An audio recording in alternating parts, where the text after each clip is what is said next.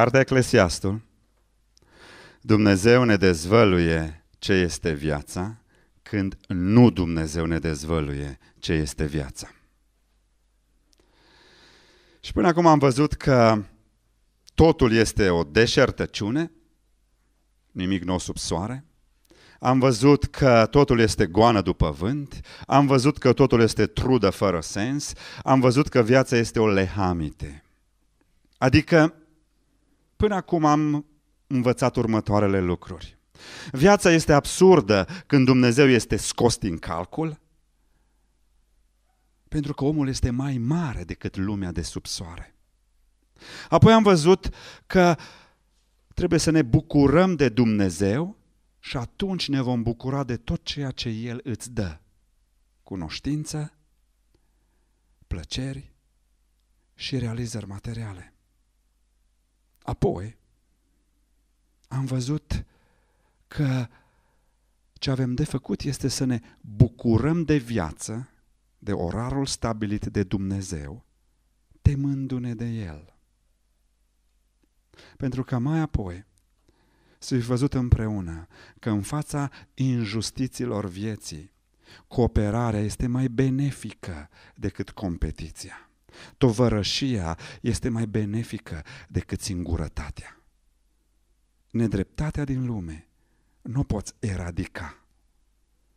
Așa va fi până la revenirea Domnului Isus. Dar în mijlocul injustiției,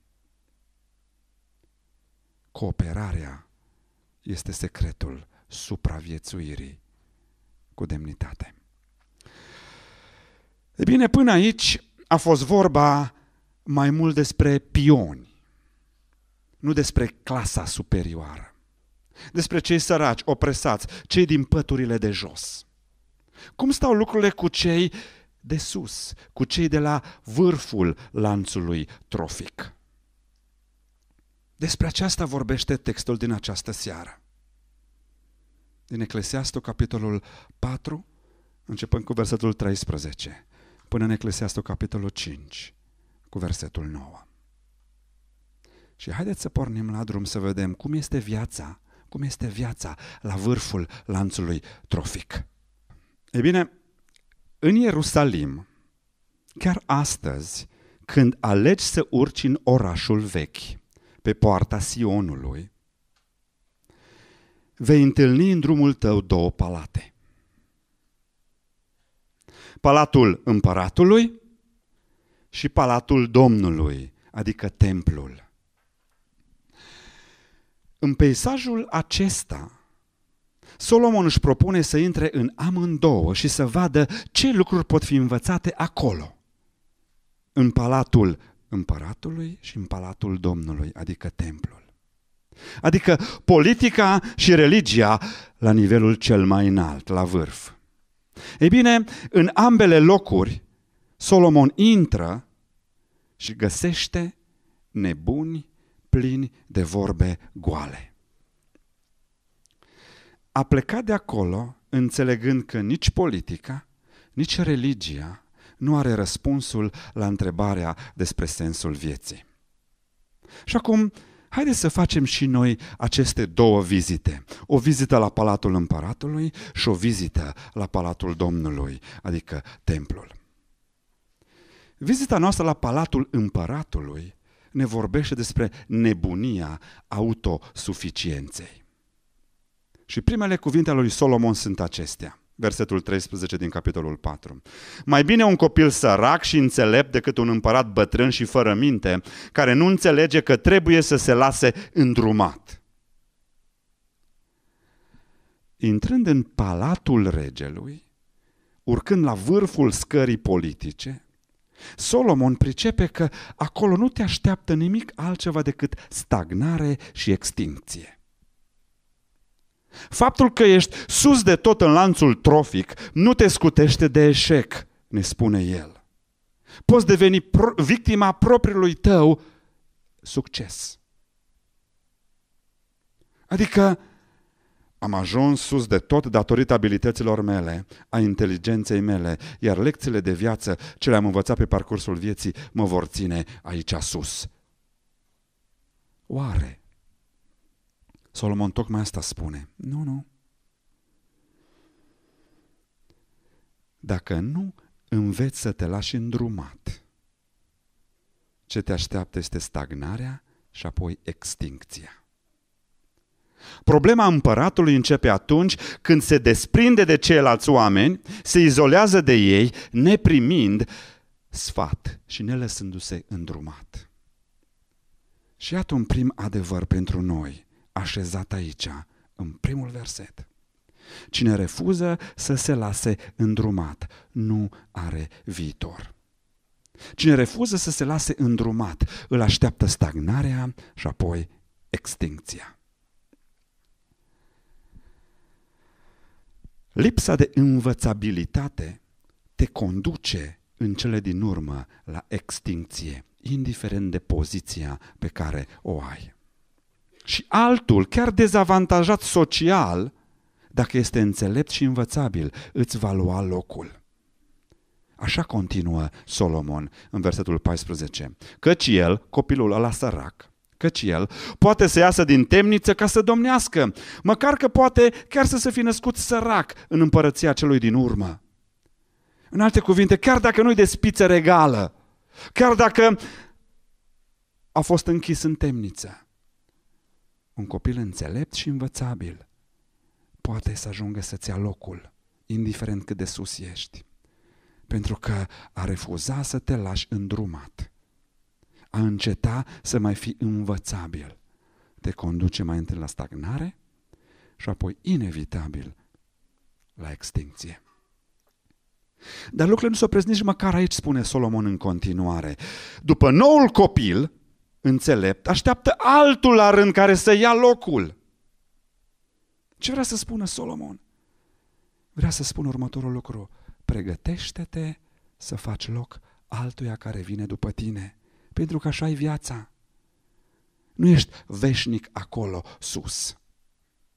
Ascultați-l. Am văzut pe toți cei vii care umblă sub soare, înconjurând pe copilul care avea să urmeze după împărat și să domnească în locul lui. Fără sfârșit era tot poporul în fruntea căruia mergea el. Și totuși,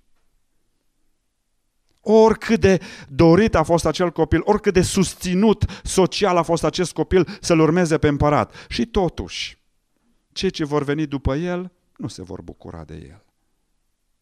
Pentru că și el va fi schimbat de noul copil care stă la rând și se pregătește să ia locul. Chiar și pozițiile cele mai înalte sunt temporare. Și în final, tot o deșertăciune, spune el, că și aceasta este o deșertăciune și goană după vânt. Iată o lecție foarte practică pentru oricare dintre noi. Una legată de învățabilitate, să te știi lăsa îndrumat. Și a doua lecție foarte importantă este așteaptă-te ca cineva să-ți ia locul. Să nu crezi că ești pe vecie în poziția în care te afli. Și voi încă n-ați ajuns în poziții mari, bănuiesc cei mai mulți dintre voi. Dar eu cred că veți ajunge, cel puțin unii dintre voi, indiferent de poziția în care te afli. Când încetezi să te lași îndrumat, așteaptă-te la stagnare și inevitabil la extinție.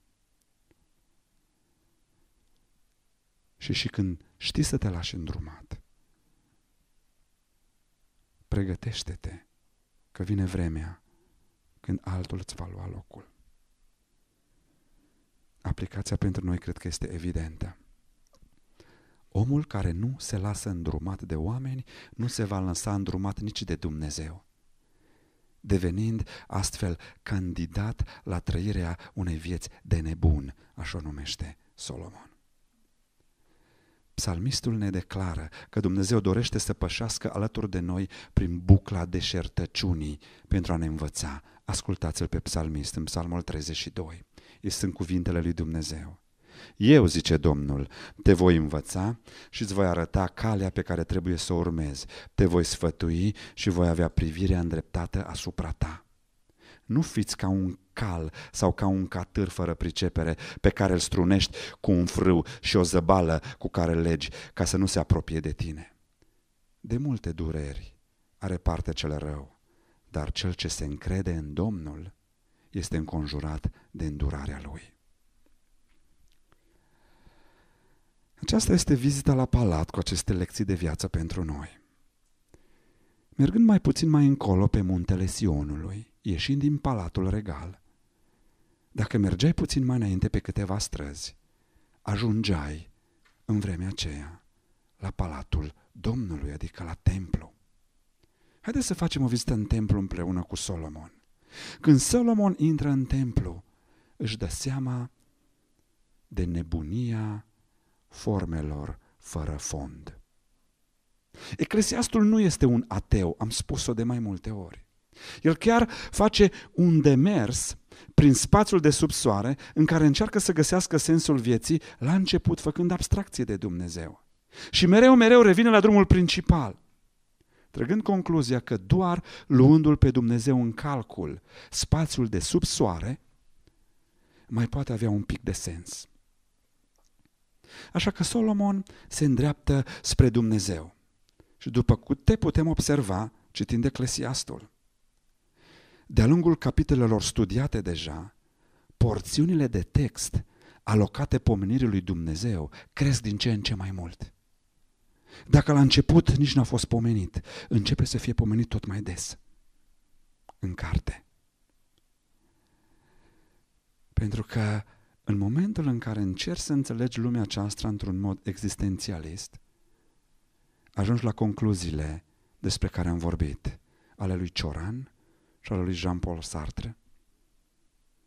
Dumnezeu, o boală de care ne imaginăm că ne-am vindecat, pentru că azi nimeni nu moare din cauza ei. Sau Jean-Paul Sartre, că Dumnezeu nu există, nu pot nega că întreaga făptură tânjește după el. Nu pot uita. Exact asta face și Solomon. Eclesiastul Solomon intră în templu și când vede ce se întâmplă acolo, își astupă urechile strigând, Tăceți! Ascultați-l. Capitolul 5, versetul 1. Păzește-ți piciorul când intri în casa lui Dumnezeu și apropie-te mai bine să asculți decât să aduci jertfa nebunilor, că cei nu știu că fac rău cu aceasta.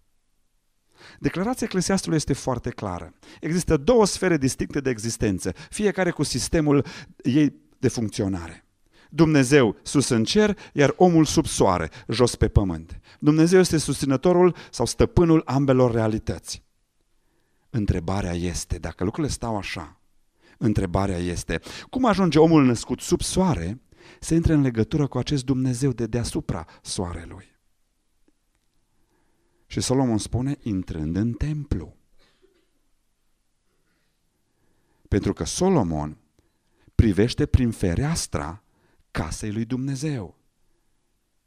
Modul de închinare din acele vremuri atunci mergeai să te întâlnești cu Dumnezeu la casa lui Dumnezeu, în templul lui.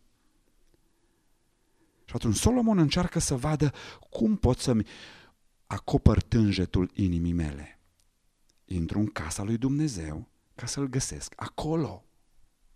De aceea îl privește prin fereastra casei lui Dumnezeu, a templului. Intrând acolo, el vede niște lucruri care îl obligă să spună, să ne spună, păzește-ți piciorul și gura când intri acolo. În alte cuvinte, omul care nu își păzește piciorul și gura când intră în casa lui Dumnezeu, va irosi ocazia unică a apropierii lui de Dumnezeu. Asta încearcă să spună Solomon. Repet, omul care nu își păzește piciorul și gura, când intră în casa lui Dumnezeu, va irosi o ocazie unică a apropierii lui de Dumnezeu. De cele mai multe ori, în locurile și lucrurile în care Dumnezeu se arată cel mai clar, noi pierdem întâlnirea cu El din lipsa disponibilității noastre de a asculta și a învăța. Din păcate, așa se întâmplă. Eu cred că Dumnezeu vorbește în fiecare zi, ne vorbește în fiecare zi, de mai multe ori. Îl auzim așa de rar, pentru că nu ne păzim piciorul sau nu închidem gura. Așa că Solomon intră în templu și vede atunci, și eu cred că ar vedea și astăzi, aceleași două lucruri. Practici religioase fără semnificație personală și promisiuni superficiale, golite de sens. De ce tocmai piciorul și gura să ne opăzim? Pentru că exact acestea sugerează cele două lucruri menționate deja. Practicile religioase și declarațiile religioase. Piciorul, ceea ce te mișcă, ceea ce te face să acționezi și gura, declarațiile care le facem. Haideți să le luăm pe rând să vedem dacă învățăm ceva din ele. Haideți să ne uităm la păzirea piciorului mai întâi, la practicile religioase. Să presupunem că am fi invitați să pătrundem în casa lui Dumnezeu, cea de atunci și de acolo, pe care a, a văzut-o Solomon. Ce am învățat? Uitați-vă ce am învățat. Intrând în templul lui Dumnezeu, în primul rând, abia intrați pe poartă, am întâlnit altarul de aramă al arderilor de tot. Și acesta vorbește despre sfințenia lui Dumnezeu care îl împiedică să rabde păcatul în prezența sa. Dacă vrei să te apropii de Dumnezeu, întâi și întâi trebuie să-ți rezolvi păcatul. Altarul acesta era în curtea templului. Intrai și nu puteai merge mai aproape până când nu-ți rezolvai problema păcatului. Sfințenia lui Dumnezeu nu permite păcatul în prezența lui. Pe de o parte, altarul de aramă asta ne transmite. Dumnezeu este sfânt și nu mai faci un pas în plus până când nu-ți rezolvi problema la altar. Dar în același timp, altarul de aramă vorbește despre îndurarea lui Dumnezeu, care este gata să ia păcatul de pe noi și să se încarce El cu El. Când vezi altarul acela, pricep, oh, Dumnezeu e sfânt și nu pot să mai fac un pas înainte fără să mă oprez la altar. Dar în același timp, când vezi altarul acolo, spui, oh, ce bine că există altarul, pentru că Dumnezeu se îndură de mine și îmi dă o ocazie, îmi dă o modalitate să mă apropiu de El. Nu mă scoate afară, ci îmi spune întâi altarul în față și îmi spune treci pe la altar întâi ca să-mi pricep sfințenia și în același timp îndurarea. Apoi la același altar putem învăța câte ceva despre relația noastră cu Dumnezeu prin intermediul jerfelor care se aduceau pe acel altar. Pentru că nu era un singur tip de jerfă, erau mai multe tipuri de jerfă și fiecare jerfă comunica ceva. Dumnezeu când a dat toate acele ritualuri, avea în minte un fond al lor, avea în minte o semnificație, dorea să vorbească ceva celor care trec pe acolo, prin jerfele poruncite. De exemplu, arderele de tot și darul de mâncare declarau apartenența noastră la Dumnezeu în întregime. Arderele de tot spunea, Doamne, sunt al Tău cu totul, arde tot ce în mine. O consacrare totală. Arderele de tot și darul de mâncare. Apoi exista jertfa de mulțumire, care declara că orice ni se dă bun și orice dar desăvârșit este de sus, pogorându-se de la Tatăl Luminilor, cum zice Scriptura. Apoi pe același altar era jertfa de ispășire. Ce declara aceasta? Jertfa de ispășire declara faptul că recunoaștem că Dumnezeu este Cel care ridică păcatul nostru și vinovăția păcatului de peste noi intrând în casa lui Dumnezeu, întâi dădea de altarul de aramă. În al doilea rând, apropiindu-te de cort, după ce îți rezolvai problema aceasta, te apropiai de cort și acolo dădeai în fața cortului de ligheanul de aramă. Acesta ne-ar învăța, dacă merge acolo, că este nevoie de o curățire atentă și specială. Ori de câte ori dorim să ne înfățișăm înaintea Lui. Preoții care vreau să intre în, în cort trebuiau invariabil să se oprească în fața cortului și să se spele în ligheanul de aramă. Pentru că mesajul pentru ei atunci, în acest ritual, și pentru noi astăzi, este următorul. Cu cât se apropie cineva mai mult de Dumnezeu, cu atât îi se cere să fie mai curat și mai sfânt în fiecare zi. În al treilea rând, intrai în cort și șocul era să vezi că deși Dumnezeu este sfânt, El dorește să-și odihnească ochii peste poporul lui. El dorește să-și înalțe fața peste poporul lui. El dorește să facă ca fața lui să lumineze peste poporul lui și abia intra în cort și în stânga vedeai menora, vedeai sfeșnicul cu șapte brațe. Și în dreapta era masa cu cele 12 pâini, comunicând foarte clar, eu Dumnezeu îmi odihnesc ochii peste voi. Despre ce vorbește acest simbol, acest ritual? Despre dorința lui Dumnezeu de a avea o comuniune nemijlocită între El și popor. Sfeșnicul cu șapte brațe și cele 12 pâini, poporul în partea cealaltă. Mai făceai câțiva pași înainte și găseai în al patrulea rând altarul tămâierii pus fix în fața perdelei ce despărțea Sfânta de Sfânta Sfintelor. Altarul tămâierii, dacă am intra acolo, ne-ar aduce aminte de rugăciunile de mijlocire sau de rugăciunile sfinților, fumul tămâiei din Apocalipsa.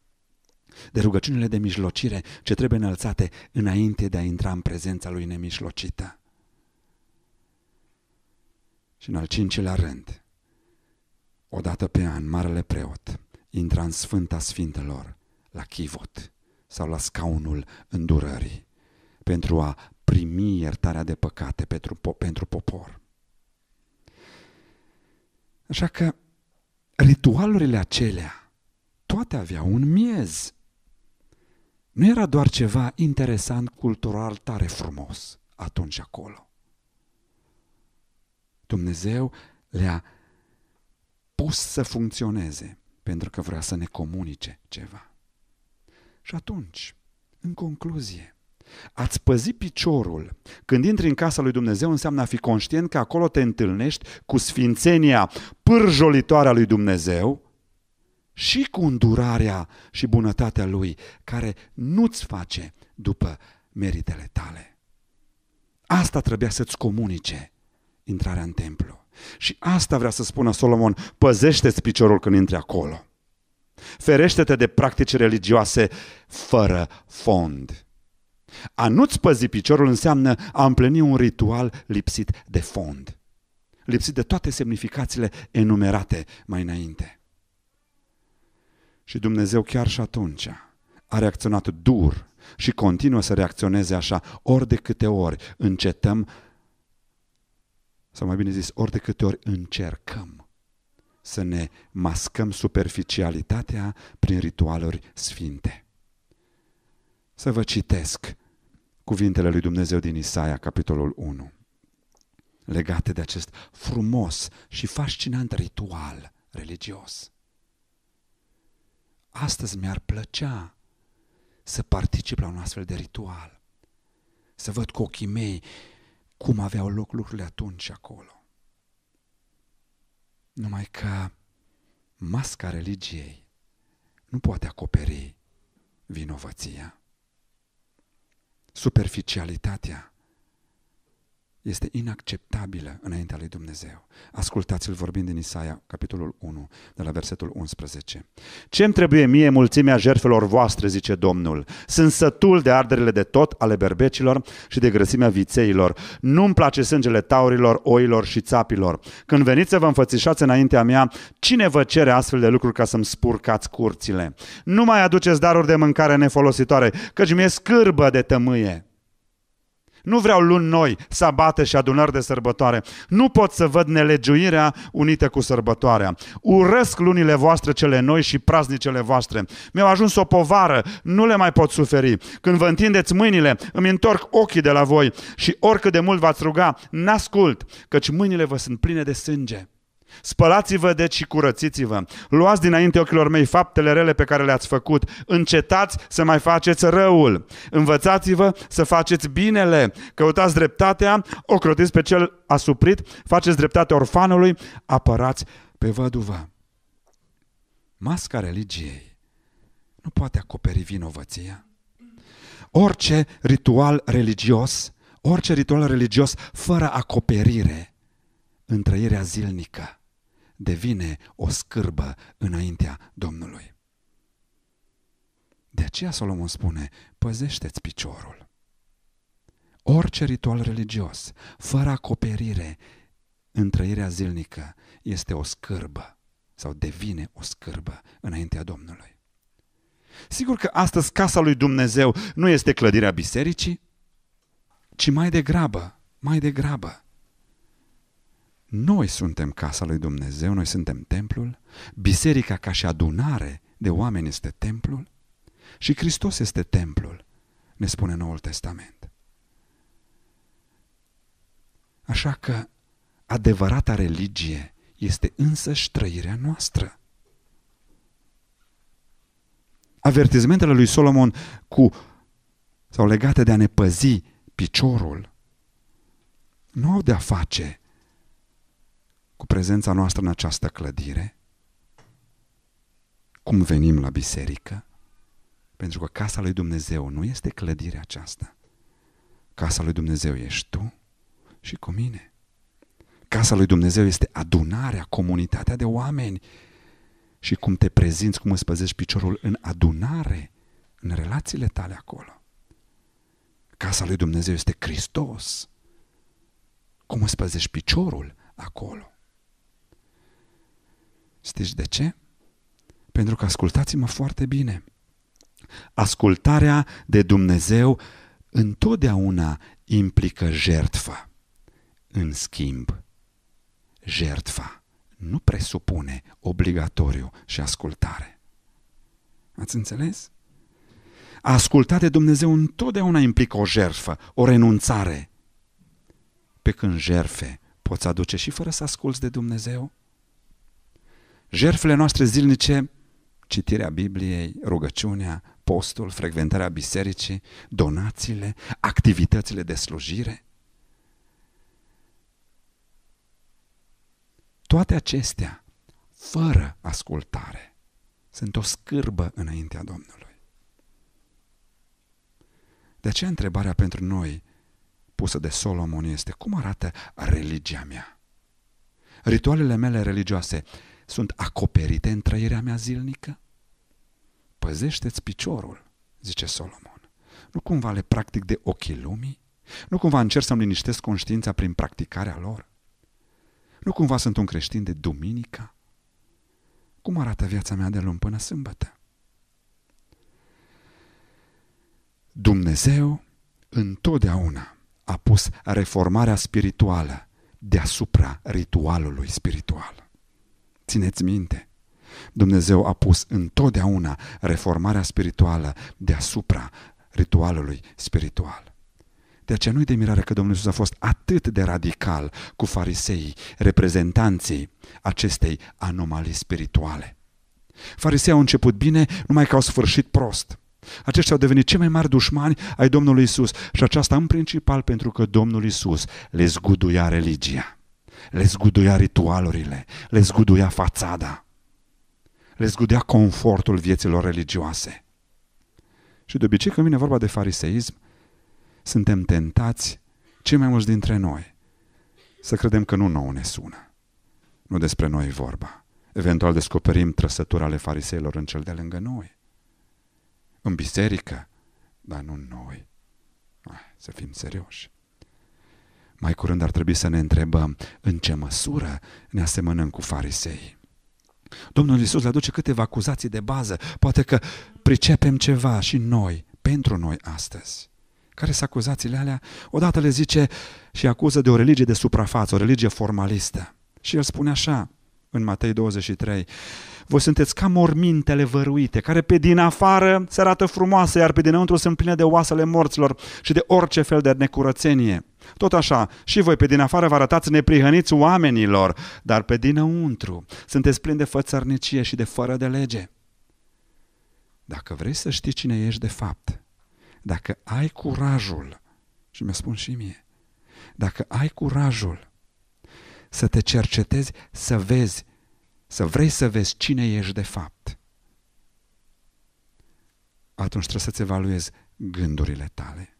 Unde se lășluiește mintea ta cel mai des? Să-ți analizezi, să-ți evaluezi dorințele tale, fanteziile tale, în solitudine, când e singur. Ce gândești în solitudine, aceea te definește. Nu este suficient faptul că noi nu facem anumite rele, din decență sau că ne ești rușine de alții. Nu este suficient faptul că noi nu facem anumite rele, când în inima noastră le nutrim și le râvnim. Lucrurile sunt foarte subtile. Și asta spune Solomon, păziți-vă piciorul. Apoi Domnul Isus se uită la farisei și le dă o a doua acuzație. Respectarea ceremoniilor pe fondul ignorării obligațiilor morale ce le revin. Și continuă textul. Vai de voi cărturari și farisei fățarnici, pentru că voi dați zeceală din izmă, din mărar și din chimen și lăsați nefăcute cele mai însemnate lucruri din lege, dreptatea, mila și credincioșia. Pe acestea trebuia să le faceți și pe acelea să nu le lăsați nefăcute. Povățuitori orbi care strecurați țânțarul și înghițiți cămila. Ispita în care au căzut farisei este și astăzi ispita în care mulți dintre noi cădem. Selectăm anumite obligații, în general mai ușor de îndeplinit, și credem că dacă le facem pe astea, totul este în regulă. Ne liniștim conștiința.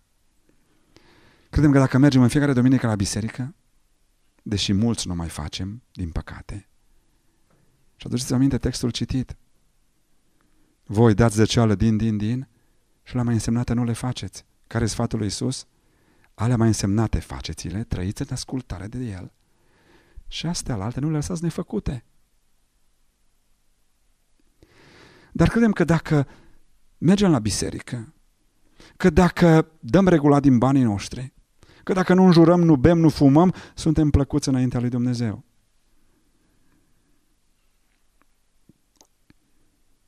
Să nu fim dintre aceia care strecoară țarul și înghit cămila. O a treia acuzație a Domnului Isus spune așa, voi înlocuiți poruncile lui Dumnezeu cu datini omenești. Continuă textul în Matei 23. Voi lăsați porunca lui Dumnezeu și țineți datine așezate de oameni, precum spălarea ulcioarelor și a paharelor și faceți multe alte lucruri ca acestea. El le-a mai zis, ați desfințat frumos porunca lui Dumnezeu ca să țineți datina voastră. Oare n-am putea numi și noi câteva datini de ale noastre, de ale comunităților noastre? Anumite reguli impuse care au ajuns norme? Ale trebuie făcute. Așa trebuie să arate un credincios de al nostru. Astea sunt elementele unui serviciu divin, cum te abați de la ele, bai mare. Și o a patra acuzație a Domnului Isus la adresa fariseilor în supărarea lui pe ei este cea mai gravă și cea mai subtilă, și anume înlocuirea îndreptățirii oferite de Dumnezeu cu o îndreptățire proprie, realizată prin faptele tale. Adică, în alte cuvinte, asta este esența fariseismului, iluzia mântuirii prin faptele proprii. Îmi fac exercițiile spirituale și sunt rezolvați în plăcutul lui Dumnezeu. De aceea Iisus își încheie vorbirea către farisei astfel. Dacă neprihănirea voastră, spune poporului, nu întrece neprihănirea fariseilor, cu niciun chip nu veți intra în împărăția lui Dumnezeu. Adică dacă credeți că neprihănirea voastră înseamnă să executați lucrurile astea de pe listă, nu aveți cum să intrați în împărăție. Pentru că neprihănirea voastră, ce puteți face voi bine, nu face față împărăției. Aveți nevoie de neprihănirea ce o dă Hristos. Prin har. Oricât de multe poți bifa pe lista aia, nu le poți bifa pe toate. Aceștia sunt farisei. Despre asta vorbește Solomon nouă tuturor și ne spune păziți-vă piciorul. Chiar și cel mai fertil și mai îngrijit teren agricol rămâne gol dacă nu este semănată sămânța.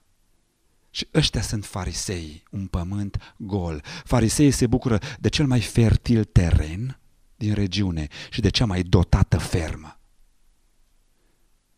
Pământul lor este curățat, arat și discuit. Sistemul de irigare funcționează fără cusur. Silozurile sunt bine clădite și frumos vopsite.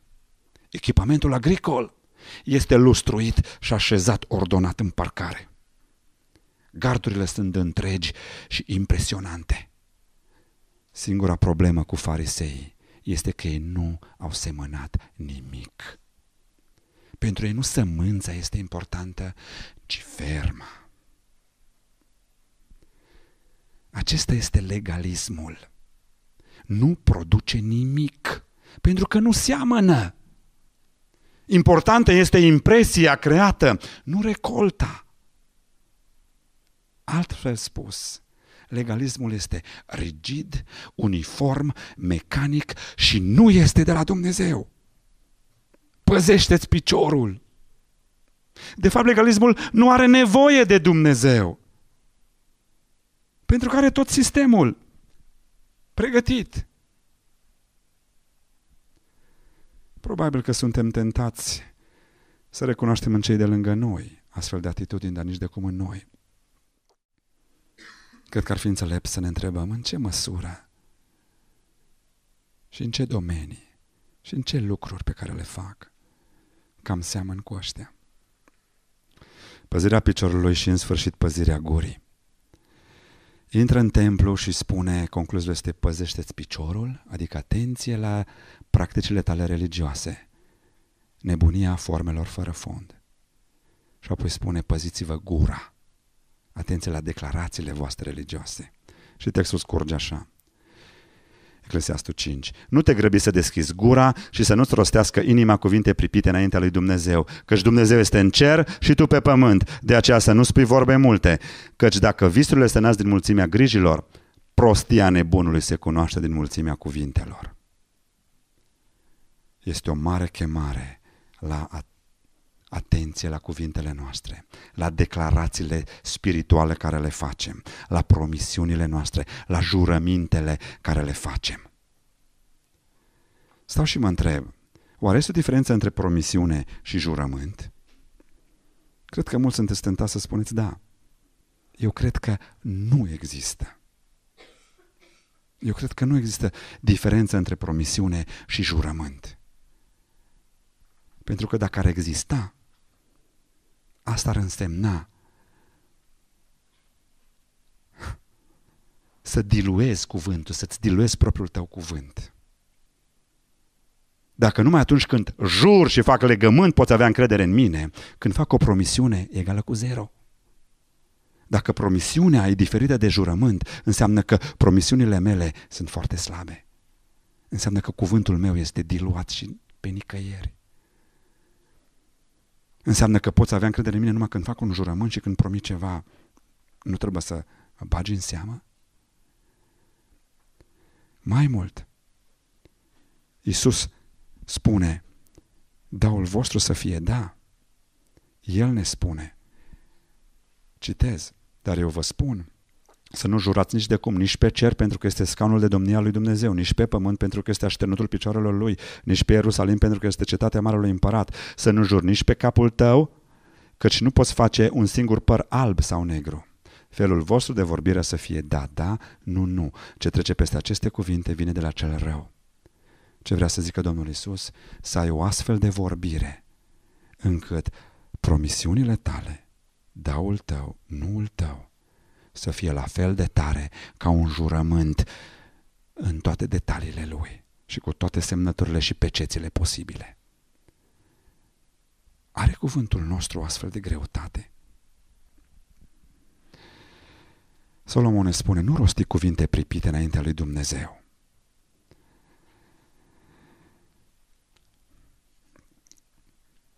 Un păstor din Anglia povestea următoarea întâmplare. Avea o bisericuță mică undeva lângă Londra și la un moment dat în biserica lor intră o familie de oameni credincioși, el era ceva director la British Airways Și vine în biserică împreună cu familia lor, vin ca membri și duminică de duminică. Bărbatul nu cânta un cuvânt în timpul închinării. Soția și copiii cântau, el tăcea din gură și au trecut săptămânile.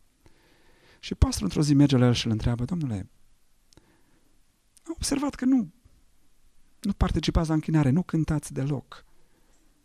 E vreo problemă? Puteți explica de ce? Sunt foarte curios. Și directorul ăsta răspunde, domnule,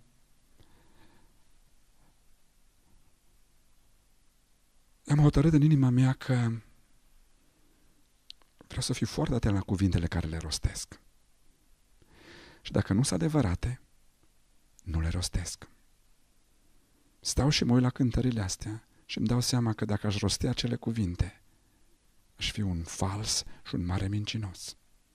De aceea nu vreau să cânt nimic din ceea ce nu este acoperit de viața mea. Pastorul încântat de chestia asta, am înțeles, am priceput extraordinar, un om care și-a în serios cuvântul. Mi se pare mult miez în ce a zis omul ăsta.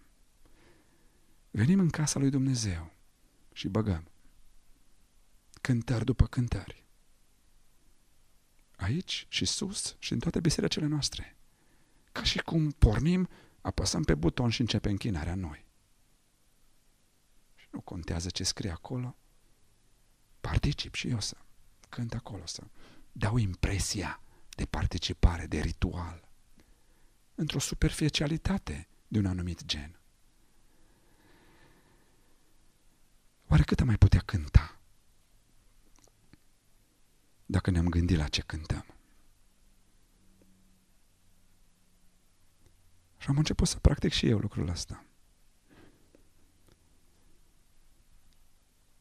Nu reușesc întotdeauna, uneori încep să cânt și după ce mi-aduc aminte, hei, ai ascultat ce ai cântat sau numai ai dat din gură?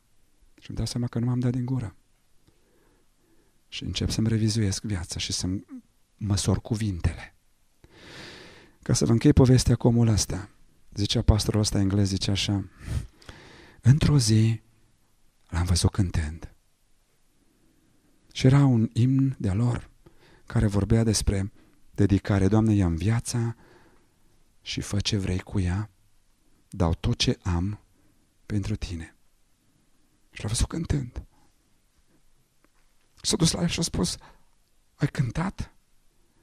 Și l-a spus, da. Și zicea, a doua zi, și-a dat demisia din poziția lui de director la British Airways. O vândut tot ce avea da? și s-a mutat într-o casă mai mică și a deschis o casă de bătrâni. Asta a avut el pe inimă să ajute câțiva oameni în nevoie. Și avea câțiva zeci de bătrâni de care au început să se ocupe până la capăt. Omul ăsta când o cântat, o și acționat. Mare om trebuie să fii. Mare om trebuie să fii. Și serios trebuie să-ți iei viața.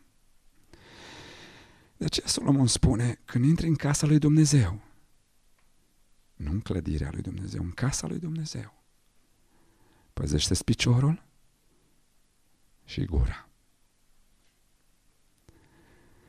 Și apoi Solomon continuă să vorbească despre promisiuni. Nu vreau să le zic jurăminte, pentru că, din punctul meu de vedere, începând cu Domnul Isus Hristos cel puțin, în ce ne privește cel puțin, promisiune egal jurământ sau legământ. E tot una. Și Solomon ne zice trei lucruri în cele ce urmează foarte pe scurt. În câteva verse ne spune așa. Unu, promisiunile înaintea lui Dumnezeu nu sunt impuse. Ascultați-l. Nu te grăbi să deschizi gura și să nu-ți rostească inima cuvinte pripite înaintea lui Dumnezeu. Sau în Deuteronomie se spune, dacă te ferești să faci o juruință, nu faci un păcat. Ce zice Solomon este, promisiunile nu sunt impuse. Nu te pripi să faci promisiuni. Nu te lăsa dus de entuziasm sau de frică sau de povara responsabilităților de pe umerii tăi, de confuzie, de circumstanțe. Nu te lăsa.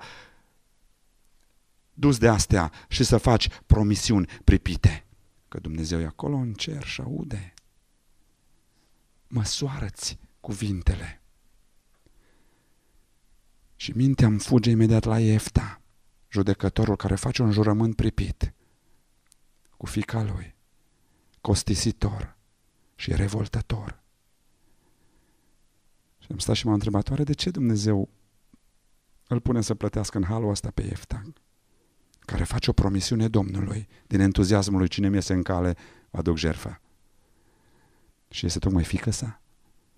De ce? Poate ca să ne înveți o lecție pe el și pe noi. Atenție la cuvintele care le rostești, că Dumnezeu e acolo în cer și le aude. Și încă un lucru, Dumnezeu nu poate fi cumpărat. Nu îndrăzni să încerci să-L cumperi pe Dumnezeu, te va costa mult prea mult. N-ai atâta de plătit. N-ai posibilitatea. Te uscă de resurse. Dumnezeu nu poate fi cumpărat. Nu te pripi să-L cumperi cu promisiunile tale. Pentru că dacă o faci, El îi încer și aude și așteaptă împlinirea. Dumnezeu nu cere promisiuni pentru ziua de mâine, ci ascultare pentru ziua de azi. Promisiunile nu sunt impuse. Doi, promisiunile nu sunt interzise. Așa continuă Solomon. Dacă ai făcut o juruință, o promisiune lui Dumnezeu, dacă ai făcut, asta înseamnă că poți să o faci. Promisiunile nu sunt interzise. Dacă ai făcut, e ok, nu sunt interzise. Vine al treilea lucru. Promisiunile făcute, dacă le-ai făcut, trebuie ținute. Și de aceea continuă în felul acesta, versetul 4. Dacă ai făcut o juruință lui Dumnezeu, nu zăbovi să o împlinești, căci lui nu-i plac cei fără minte. De aceea împlinește juruința pe care ai făcut-o. Ce ne spune Solomon? Când ne zice, păzește-ți gura, ne spune că promisiunile nu sunt nici impuse, nici interzise, ci sunt acceptate. O promisiune făcută, însă, trebuie să devină o promisiune ținută. Altfel îl mâni pe Dumnezeu. Și ascultați-l mai departe pe Solomon, versetul 5. Mai bine să nu faci nicio juruință decât să faci o juruință și să nu o împlinești. Nu lăsa gura să te bage în păcat și nu zice înaintea trimisului lui Dumnezeu, m-am pripit. Pentru ce să se mânie Dumnezeu din pricina cuvintelor tale și să nimicească lucrarea mâinilor tale? Căci dacă este deșertăciune în mulțimea visurilor, numai puțin este și în mulțimea vorbelor. De aceea, temete de Dumnezeu. Și atunci, după astfel de cuvinte, cei mai mulți dintre noi fugim de promisiuni. Și o facem, de fapt, datorită delăsării noastre. Vrem să avem o portiță de scăpare tot timpul. Nu mai promit nimic, nu mai zic nimic, să nu mă coste. Și asta este o atitudine chestionabilă. De ce? Pentru următorul fapt. Dacă o promisiune te poate ajuta în umblarea ta cu Dumnezeu, nu ezita să o faci. De fapt, o promisiune sau un legământ poate fi o înaltă de mare preț în maturizarea ta spirituală. Cei care fug de promisiuni se lipsesc singur de motivația de a duce lucrurile la capăt. Promisiunile îți dau o țintă, îți dau o direcție. Nu ești obligat să le faci, dar nu sunt nici interzise. Ele sunt primite. De aceea, dacă o promisiune te poate ajuta în umblarea ta cu Dumnezeu, fă-o, pentru că atunci ai o direcție și o motivație, pentru că ai zis ceva. Mai bine să faci promisiuni și să le ții, decât să nu faci promisiuni și să ajungi nicăieri. Hernando Cortez, conquistadorul spaniol care a cucerit Imperiul Aztec, Mexicul de astăzi, a făcut un gest extraordinar, mi se pare mie, care vorbește despre această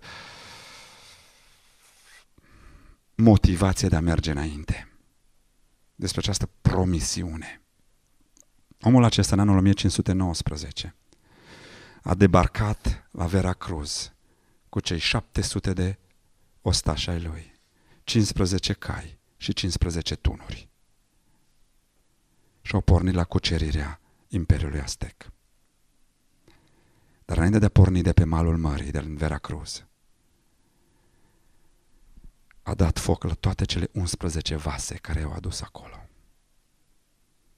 Și în timp ce ardeau, soldaților lui îngroziți nu știau ce să creadă.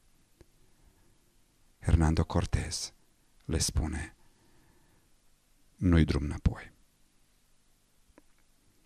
În alte cuvinte, pentru voi, pentru noi nu există decât drum înainte. Ori cucerim, ori murim. Nu îi luăm în discuție moralitatea actelor lui Hernando Cortez. Nu despre asta vorbim. Nu justifică niciun fel măcelărirea astecilor. Nu. Subliniez această atitudine a tăiat orice speranță de retragere, orice portiță de a da înapoi. Acum suntem condamnați să mergem înainte. Ori ne batem, ori murim. Așa și promisiunile. Când faci o promisiune, îți dai foc la vasele de retragere. Și n-ai decât să mergi înainte și să biruiești. Sigur că trebuie să scântărești bine care sunt promisiunile sau legămintele care merită făcute. Dar cele care merită făcute, trebuie făcute. Și poți începe cu promisiuni mai mici și limitate pe o perioadă de timp și ținute. Și astfel îți vei forma o disciplină foarte valoroasă pentru maturizarea ta spirituală. Care sunt lucrurile care ar merita să le promiți lui Dumnezeu în umblarea ta cu El? Ce măsuri ar merita să iei? Fă o promisiune înaintea Lui pe o durată scurtă de timp ca să te poți ține de ea. Și ține-te de ea. Și vorbim după terminarea perioadei. Dacă nu vei avea bucuria că ești un pic mai sus. Câtă valoare are cuvântul tău? Ești gata să ții cuvântul dat chiar dacă este în defavoarea ta? Să ții promisiunea făcută chiar dacă este în defavoarea ta? Chiar dacă ești în pierdere? Ascultați în încheiere. Psalmul 15, de la 1 la 4. Doamne, cine va locui în cortul Tău, în prezența Ta? Și mai în jos, cel ce umblă în neprihănire, cel ce face voia lui Dumnezeu, acesta, el, nu și-a vorba înapoi dacă face un jurământ în paguba lui. Acestea au fost cele două vizite ale noastre de astăzi. Vizita la palat și vizita la templu. Nebunia autosuficienței și nebunia formelor fără fond. Ambele te vor conduce sub mânia lui Dumnezeu. Cine refuză să se lase îndrumat, va ajunge la stagnare și extincție. Și nu uitați, în al doilea rând, Dumnezeu întotdeauna a pus reformarea spirituală deasupra ritualului spiritual. De aceea păzește piciorul și gura când stai înaintea lui Dumnezeu.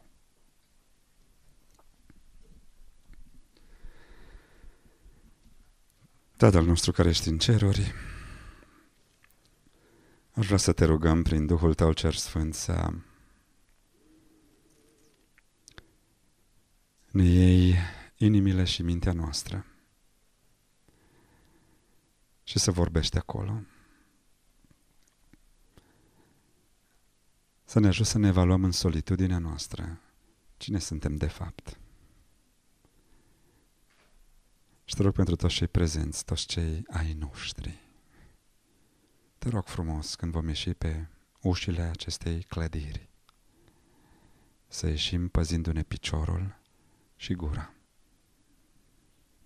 Ca să nu cădem sub mânia ta. Așa te rog să lucrezi în viețile tuturor celor prezenți, Doamne. În numele Domnului Iisus Hristos mă rog. Amin.